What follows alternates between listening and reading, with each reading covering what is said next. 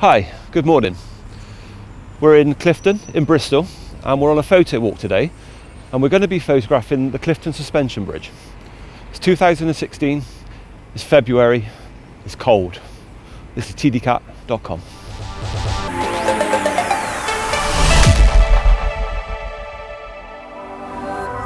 We're now approaching the first spot that we're going to photograph the bridge from.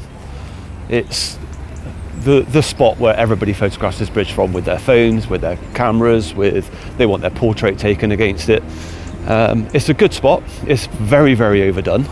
Uh, but we're going to see what we can do and see if we can make just make it look nice, like everybody else does.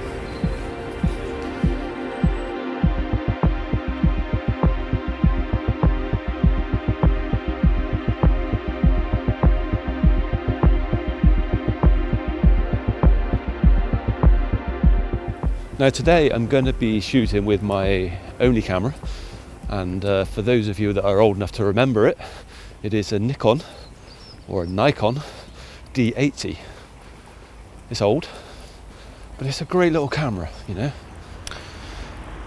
So I've been up here so many times taking photos from different angles and as I was walking past I just looked to my left as I was walking past and saw this angle. And you know what? I don't know, maybe it's winter, maybe it's because all the uh, shrubbery has just been trimmed back. It's amazing.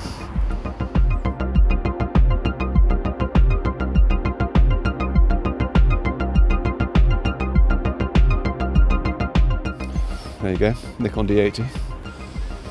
Uh, on the front of it is a Sigma 30mm lens.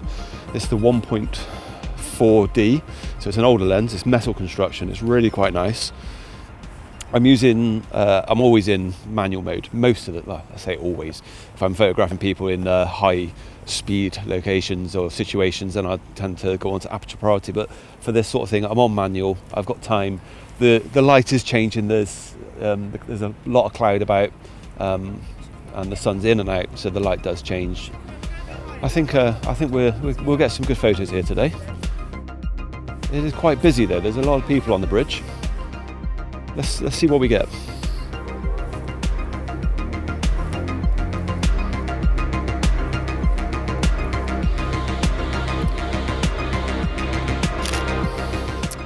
So now we have, we're still at an angle, but we have more of a side-on view of the bridge. Uh, we can see now from this point here, we can see actually how high we are. I'm not great with heights, by the way. Uh, but we have the River Avon that runs through the, river, the Avon Gorge down here, uh, and the, the river's right up as well. It's completely, yeah, tide is in. Uh, we're shooting more into the sun from this location, so we're we're obviously not going to get so many colours. It's going to be more contrasty, more mm, silhouette type photo, maybe. I must breathe when I'm taking photos. so I tend to uh, I, I, tend to hold my breath a lot while I'm while I'm taking a photo. It's a technique to help steady the camera. But then if you're like me and you're dillying and dallying, trying to establish a, an exposure, you realise you've been holding your breath for about two minutes. Um, probably not good to pass out here.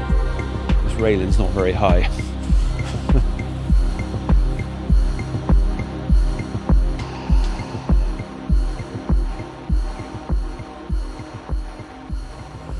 Just to the right of me is the Clifton Observatory.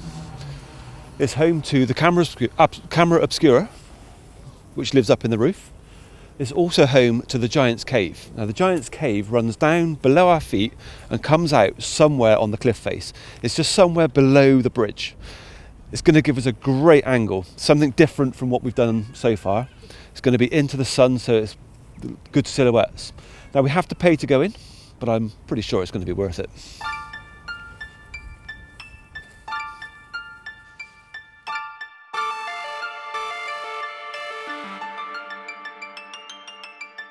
So the steps go down for a little while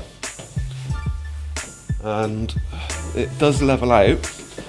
It's very interesting.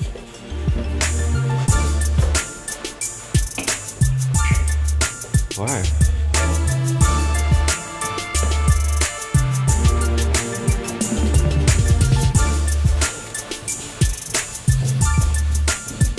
Wow.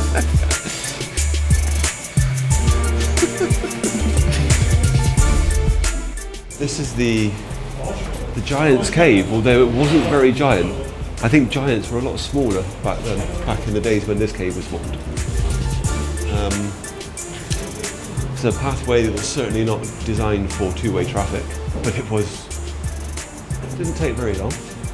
I have no idea how people got up and down here before that staircase was put in. Maybe ropes and a good pair of boots. I'm really just exposing to make sure there's just a little bit of detail in the shadow areas, that it's not blacking out too much. And hoping that the sun doesn't blow out too much, which it's going to. I'm using a 15mm lens. Yeah, artistic. It's not bad.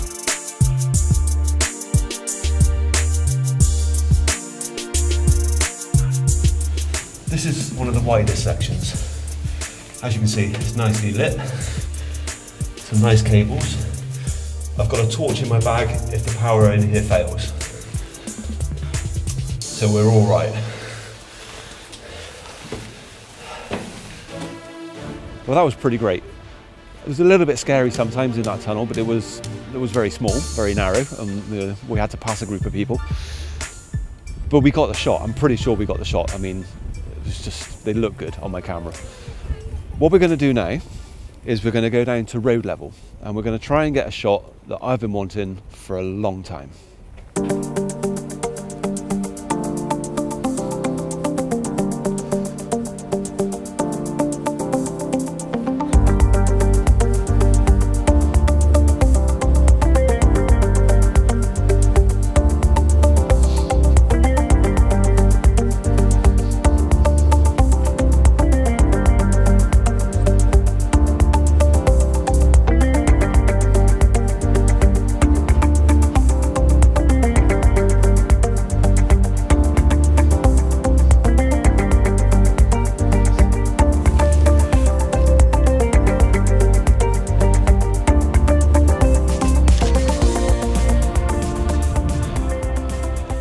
That was all right. Am I going to die? No.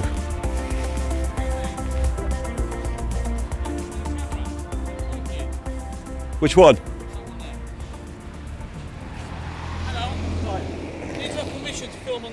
Oh, do we? Really? You do indeed. Oh, right. Because it's private property. Okay. Yeah. What is it you're filming? Oh, it's just we're just doing a, a like a photography thing Right. around Bristol. Okay. Um, I'm taking photographs of things, and he's filming me taking, photographs of things. Yeah. Unfortunately, because it's private property, Right. we have to get permission off the. Uh, particularly, we- we don't want you standing in the road for us. Yeah. off. Yeah. Well, apparently the bridge is private property. I never knew that. Uh, it kind of makes sense, really. Um, so we've. It's the first time ever that I've been told off. It wasn't really a telling off. Told that I couldn't photograph somewhere because of private property. Read about it loads on the internet. Loads of people ask that question. What do I do about photographing on private property? You obey the rules. If they say you can't photograph there, you don't photograph there.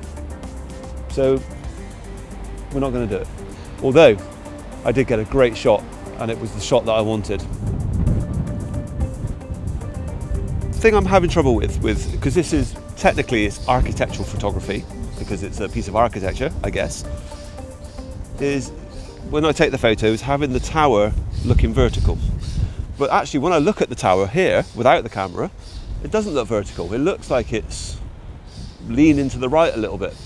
But obviously, in a photograph, it becomes more because your brain tells you that it is vertical when you're looking at it. But when you look in a photograph, you're only seeing it in 2D. So if it is slightly off and slanted, it looks bad and slanted. So the challenge is now is to photograph that and make it look erect, straight up.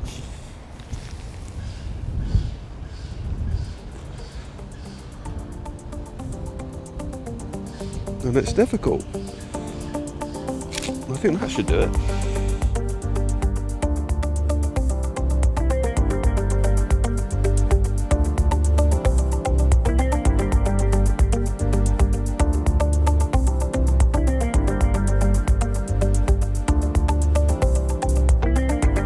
Well, that's almost it from us today. This is our first ever episode doing anything like this. It's the first time we've ever done anything like this. Uh, we've really enjoyed doing it. We really hope you've enjoyed watching it. But there is one more spot to photograph this bridge from. Here, with a wonderful view of the bridge.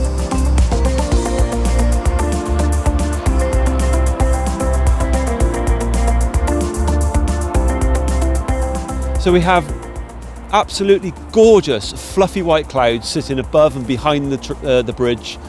Beautiful blue skies. The sun is out, it's lighting those trees up, it's lighting the bridge up, it's reflecting off the water nicely. Uh, there's some houses down there that are just, oh, it's just gorgeous, it's just gorgeous. Just gonna, I'm just not sure if I'm a good enough photographer to actually do this scene justice but I am enjoying myself. So I guess that is the most important thing here. Oh, this is beautiful.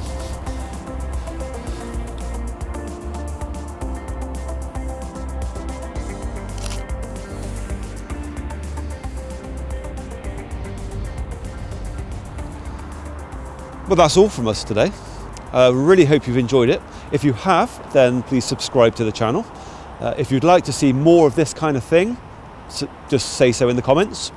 Uh, we're kind of planning to do it anyway, but if we have your feedback and your desires to see more, then we're more likely to do it. Uh, we'll also be bringing you some reviews uh, and tutorials on photography and, and maybe some more specialist stuff in the future. But for now, this is tdcat.com signing off.